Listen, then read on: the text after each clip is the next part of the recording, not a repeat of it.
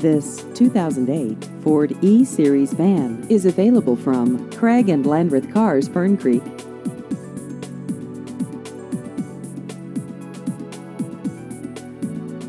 This vehicle has just over 32,000 miles.